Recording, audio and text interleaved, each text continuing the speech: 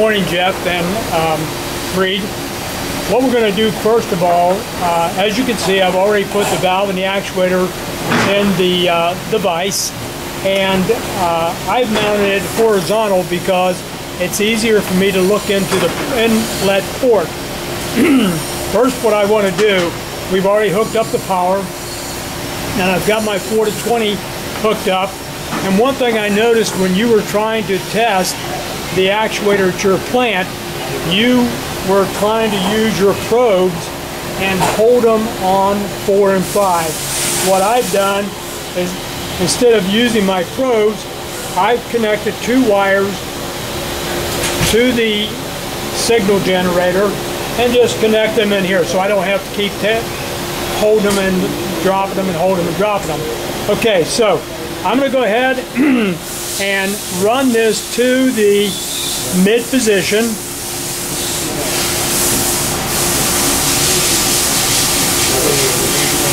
And then I'm going to take a look at the um, trim on your valve to be sure it's in mid position. And I'm also going to look at the, um, the sitting on the feedback pot to see how close that is the 500 ohms when you're in the mid position. When the valve is in mid position, I'm assuming that the opening on each of your, um, I don't know what to call those, each of the, the openings there should be equal on both of them. Anyway, I don't know if you can see the, um, the openings in the mid position, but it, it doesn't look totally equal on both of them. And again, that's my assumption that they should both be the same in the mid position. so what I want to do now, with it just sitting here, I'm going to turn off the power to the motor and I'm going to unplug J1 and we're going to take a look at the um, the ohms on the pot. Okay, we situated the camera so that I can disconnect J1. And as I said before, um, Jeff, when you pulled J1 off and you still had power to it, it ran the valve closed. And that's because the um, this jumper down here was set so that it would fail in a closed position. This one is set, excuse me, so it'll stay in last position, but I turned off power anyway. I'm going to put my probes on one and two, and that's at 519 ohms, which is really not too bad. So you've done a good job setting that up. Now I'm going to check it against 2 and 3 just for verification. And then that's a 485. So uh, like I said, you've done a, a really good job setting the, uh, the cam up. When you did it, you loosened that. And while you had your probes on 1 and 2, you rotated this so that the feedback potentiometer would change and get within the, um, the 500 ohms. That makes me wonder um, why the, uh, the mid position is off. You told me that the, um, the, the full open is off, so we're going to run it to the 20 milliamp position and we're going to take a look at that and see if we can calibrate that to, um, to bring that mid position in a little bit better. Okay, we turned power back on and I plugged J1 back in. So now I'm going to give it a signal to go full open. So um, hopefully you'll be able to see as it moves to the open position.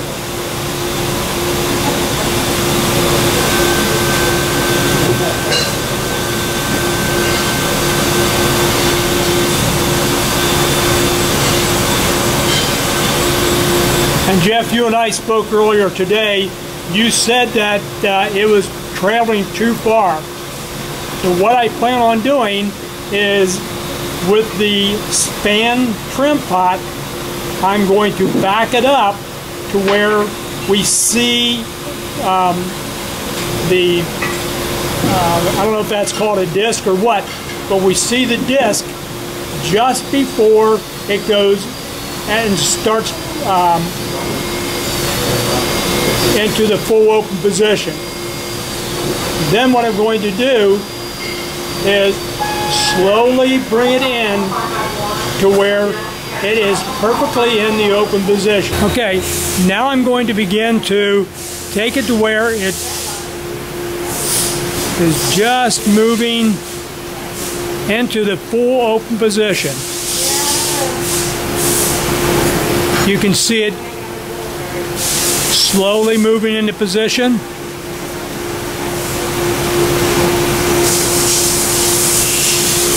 And I'm having a difficult time telling whether I'm there or not. I'm going to look in the port.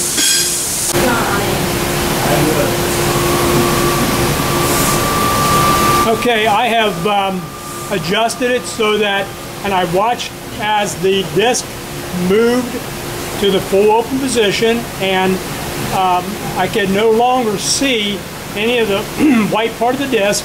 It was perfectly aligned with the, um, the hole in the valve. So the open position is set perfect. Now I'm going to run it to the closed position and we're going to watch that and see if it is also perfect. When you calibrate the board, you should always calibrate the closed position first for the 4 milliamp. Then you run it to the 20 milliamp and you set the 20 milliamp. Once you've done that, your mid position and any other position throughout the, the 90 degrees will be automatic. They're, they're non-interacting um, zero and span. So I'm going to do that right now. I think I'm going to stop it at 12 and see if we've improved that uh, mid position setting.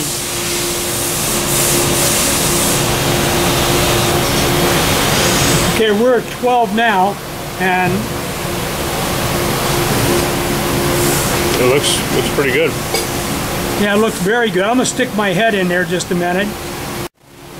It's set up perfect on the open position, and the um, we did not come off the cam, so we know that the uh, control board and the input signal is actually controlling where the position of the valve is.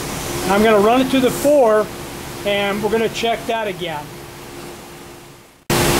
If the 4 milliamp is set up first, you don't have to go back and forth checking it. Hopefully we get a, as good a view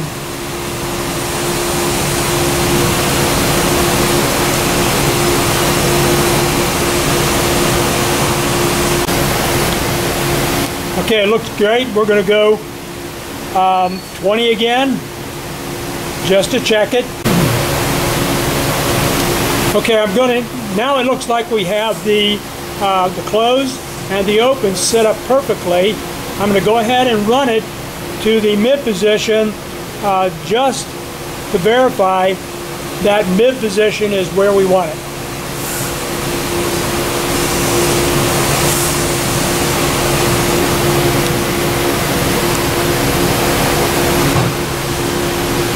That looks perfect as well.